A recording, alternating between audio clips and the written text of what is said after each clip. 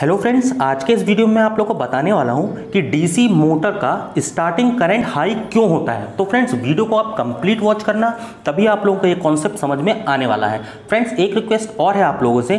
Friends 93 percent लोग आप लोग मेरे चैनल को वॉच करते हैं, मेरे वीडियोज़ को वॉच करते हैं, मगर चैनल को सब्सक्राइब ओनली सेवन लोगों ने किया हुआ है। तो फ्रेंड्स चैनल को सब्सक्राइब ज़रूर कर लीजिए। तो चलिए दोस्तों, आप अपन वीडियो स्टार्ट करते हैं। फ्रेंड डीसी मोटर का स्टार्टिंग करंट हाई क्यों होता है? ये सीधे डिपेंड करता है बैक ईएमएफ पर। जितना ज़्यादा बैक ईएमएफ होगा आर्मेचर करंट उतना ही कम होगा। फ्रेंड ध्यान से सुनिएगा, मैं फिर आप लोगों को बता देता हूँ। बैक ईएमएफ पर डिपेंड करता है स्टार्टिंग करंट यानी जितना ज़्यादा बैक ईएमएफ होगा, उतना ज़्यादा अपना करंट है आर्मेचर का, वो कम होगा। फ्रेंड्स अगर आपको नहीं पता है कि बैक ईएमएफ क्या होता है, इसका मैं ऑलरेडी वीडियो बना चुका हूँ तो आपको राइट हैंड साइड पर जो आई बटन दिख रहा है ना, वहाँ पर बैक ईएमएफ वाला वीडियो का लिंक मिल जाएगा और डिस्क्रिप्शन में मैं बैक ईएमएफ वाले वीडियो का लिंक दे दूँगा। तो फ्रेंड्स वहाँ जाके आप बैक ईएमएफ वाला वीडियो ज़रूर देख लेना, तब आपका कॉन्सेप्ट और भी अच्छे से क्लियर होने वाला है। तो फ्रेंड्स बात मैं कर रहा था बैक ईएमएफ की। फ्रेंड्स देखिए मान लो ये अपनी मोटर है, डीसी मोटर है, जितना ज़्यादा इसका रेवोल्यूशन होगा, यानी जितना ज़्यादा, यानी अगर इसकी इसका रोटेशन अगर जितना ज़्यादा फास्ट होगा, ठीक है, अपने आर्मेचर का तो उतना ज़्यादा बैक ईएमएफ होगा, वो ज़्यादा होगा बैक ईएमएफ तो करंट अपना उतना कम होगा। यानी स्टार्टिंग में बैक ईएमएफ होता है, वो अपना ज़ीरो होता है। ठीक है?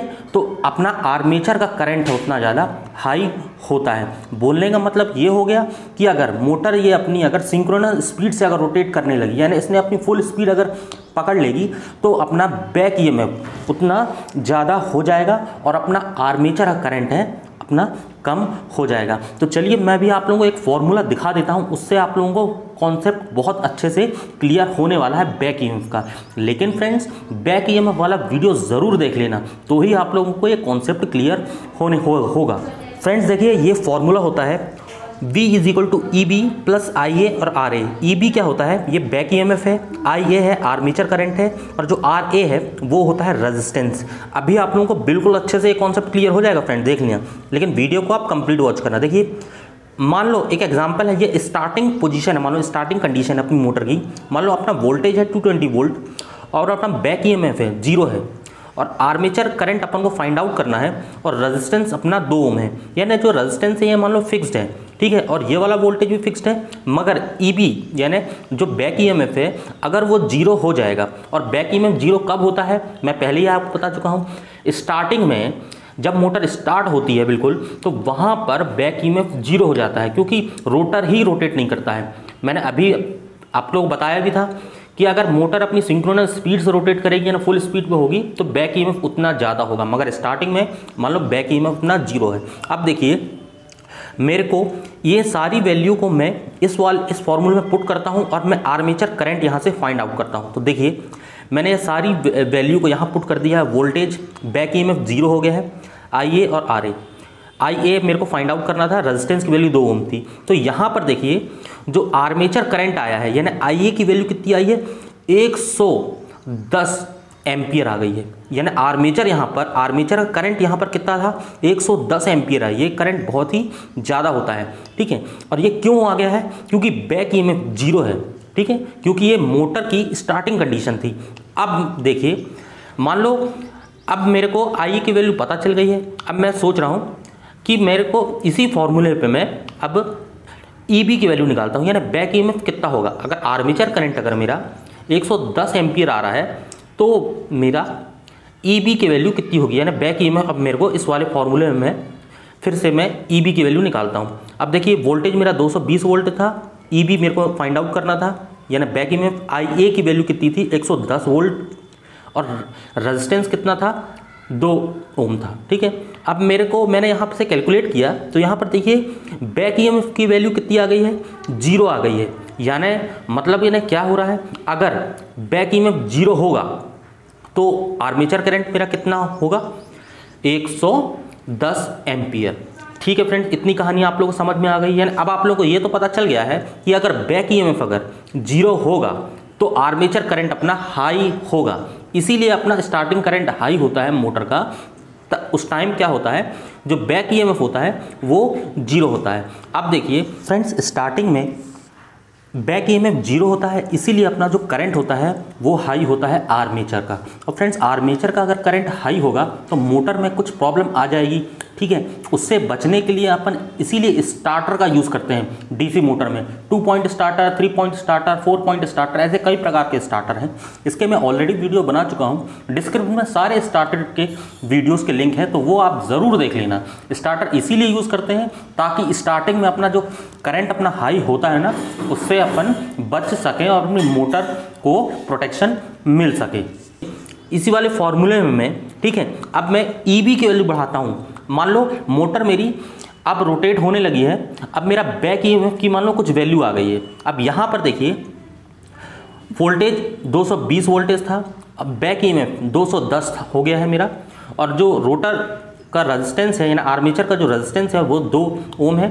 अब मेरे को यहाँ पर आई ए की वैल्यू फाइंड आउट करना है, यानी आर्मेचर करंट की ठीक है? तो यानी मैं सारी वैल्यू में इस वाले फॉर्मूला पुट कर दूँगा। अब यहाँ पर आई ए की वैल्यू निकालूँगा, ठीक है? अब यहाँ पर देखिए आई ए की वैल्यू कितनी आ गई है? पाँच एम्पियर आ गई है। ये पाँच एम्पियर क्यों आई है फ्रेंड्स क्योंकि यहाँ पर बैक ईएमएफ की कुछ वैल्यू आ गई है। अगर बैक ईएमएफ जितना ज़्यादा होता जाएगा तो आर्मेचर का जो करंट है, उतना ज़्यादा कम होता जाएगा। अब यहाँ पर मैं देखिए ई ईवी की वैल्यू मैंने कितनी ली थी? यहाँ पर बैक ईएमएफ की वैल्यू कितनी ली थी? 210 वोल्टेज ली थी। अब मान लो, मेरे को इसको थोड़ा वैल्यू मैं और बढ़ा देता हूँ। अब मैंने कितनी ले ली? यहाँ पर वैल्यू देखिए 215 वोल्टेज ठीक है? अब ये वाली जो सारी वैल्यू को, ठीक है, मैंने इस वाले फॉर्मूले में फिर से पुट कर दिया है। तो यहाँ पर देखिए कितना निकल के आ गया है। यहाँ पर देखिए आर्मेचर करंट और भी ज़्यादा कम हो गया, यानी 2.5 ओम हो गया है आर्मेचर करंट ठीक है? यहाँ पर पाँच ओम आ गया था, ठीक है? अब यहाँ पर 2.5 आ गया, यानी यहाँ पर देखिए आप लोगों को क्लियर हो रहा होगा कि जितनी ज़्यादा मैं बैक ईएमएफ की वैल्यू बढ़ाता जाऊँगा बैक ईएमएफ का वोल्टेज बढ़ाता जाऊँगा, उतना ज़्यादा आर्मेचर करंट कम होता जाएगा। देखिए, ये तो स्टार्टिंग कंडीशन थी, ठीक है? उसके बाद मैंने बैक ईएमएफ की वैल्यू बढ़ाई और इस वाली कंडीशन में और बैक ईएमएफ की वैल्यू बढ़ाई। तो जैसे जैसे बैक ईएमएफ की वैल्यू बढ़ाते जा रहे हैं तो आर्मेचर करंट अपना कम होता जा रहा है। तो फ्रेंड्स अब आप लोगों को क्लियर हो गया होगा कि बैक ईएमएफ क्या होता है।